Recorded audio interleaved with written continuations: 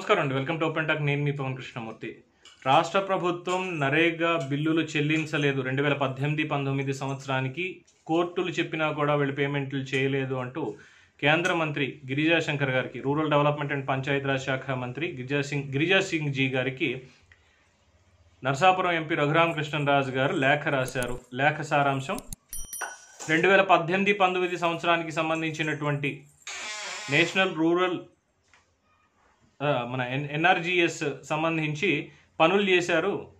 దానికి సంబంధించి కేంద్రం నుంచి వచ్చినటువంటి నిధులు ఇవన్నీ కూడా రాష్ట్ర ప్రభుత్వం వేరే దానికి మళ్ళించింది. పద్దెనిమిది వందల కోట్ల రూపాయలు వేరే దానికి మళ్ళించింది. ఇంకా చెల్లించాల్సింది ఉంది.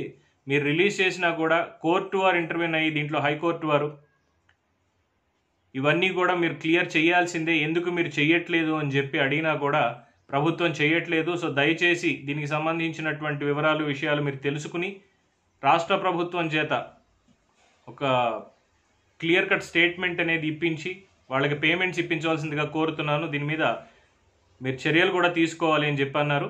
The NREGS payments for the works done in the year of two thousand eighteen nineteen were already cleared by the ministry and paid to the state government for release to the people who have contributed the man hours but with ulterior political motives the new government stopped the payments sitting the vigilance inquiry and attributing the two years delay to one year old corona pandemic with the honorable high court intervention small fraction of 28 crore 28 crores out of the huge outstanding of 1800 crores is paid during last week.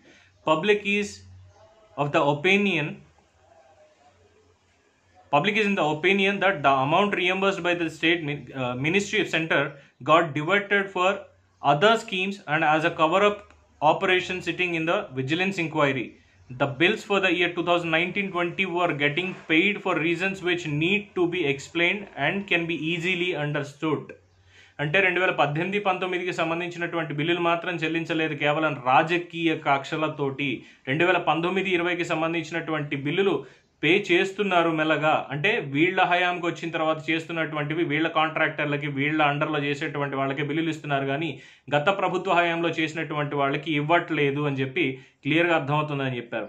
In the view of above mention facts I urge the ministry to conduct a through thorough enquiry of the real facts and take back the money from the state government and pay directly as a special case to put an end to the misuse of funds and cover up vigilance cases against the innocent persons who have come forward and completed the rural development works any further delay would be lead to suicides in the public opinion in the state ఇంకెంతకుమించి చెప్పుకోవాల్సింది ఏముందండి మీరు vigilance enquiry cases ఇవన్నీ వాళ్ళ మీద enquiry చేసి బిల్లులు ఈ rural development పనులు ఇవన్నీ చేసిన వాళ్ళకి బిల్లులు ఇవ్వకుండా మీరు అన్యాయం చేశారు అవినీతి చేశారు మేము విజిలెన్స్ ఎంక్వైరీస్ తేలుస్తామంటే ఆల్రెడీ తీసుకొచ్చిన దానికి డబ్బులు వడ్డీలు కట్టుకుంటూ కొంతమంది ఆత్మహత్య చేసుకున్నారు. మొన్నే తూర్పుగోదావరి జిల్లాకు సంబంధించి ఇలాంటివి వర్క్స్ చేస్తున్నటువంటి ఒక కాంట్రాక్టర్తో నేను మాట్లాడడం జరిగింది.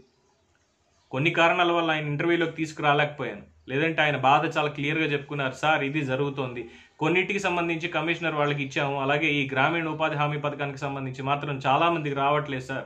కొంతమంది కరోనాతో చనిపోయారు. ఎలా చనిపోయినా కానీ కుటుంబం ఉపాధి కోల్పోయింది. వాళ్ళకి రావాల్సినటువంటి బిల్లులు వస్తే అట్లీస్ట్ వాళ్ళకి హెల్ప్ అయి ఉండేది. కానీ ఎక్కడ ఎటువంటి పరిస్థితి లేదు అని చాలా బాధపడ్డారు ఆయన. నేను పేరు మెన్షన్ చేయనండి ప్రస్తుతానికి. ఎందుకంటే మళ్ళీ ఈ విజిలెన్స్ ఎంక్వైరీ పేరుతోటి వాళ్ళ మీదకి ఎక్కడికి వెళ్తారో అన్న ఒక భయం. బట్ ఏదో ఒక రోజు ఖచ్చితంగా తీసుకొస్తా. దీని మీద ఇప్పుడు సెంట్రల్ గవర్నమెంట్ విజిలెన్స్ ఎంక్వైరీ వేసి ప్రభుత్వం మీద వాళ్ళ పనుల మీద కాదు. లేదు ప్రభుత్వానికి రిటర్న్ స్టేట్మెంట్ ఇవ్వాలి. మీరు డబ్బులు వెనక్కి పంపిస్తారా? మీ మీద చర్యలు తీసుకోవాలా అని. ఎందుకంటే ఎక్కువగా ఎఫ్ఆర్బిఎం లిమిట్స్ దాటి చేసినటువంటి అప్పులకి ఆల్రెడీ ప్రభుత్వం చెప్పింది. ఎక్కువగా అదనంగా చేసినటువంటి అప్పులు వెంటనే తీర్చాల్సిందే. మీరు ఎవ ఎవరిని అడిగి మీరు దాన్ని చేశారు అని. దాని మీద కూడా ఇప్పుడు చర్యలు తీసుకుంటా ఉన్నారు కదా. అలాగే ఈ గ్రామీణ ఉపాధి హామీ పథకం పంచాయతీరాజ్ చట్టం వీటన్నిటి పరంగా రాష్ట్ర ప్రభుత్వం మీద చర్యలు తీసుకునే వరకు కూడా వాళ్ళ పోరాటానికి అందరి మద్దతు ఉంటుంది.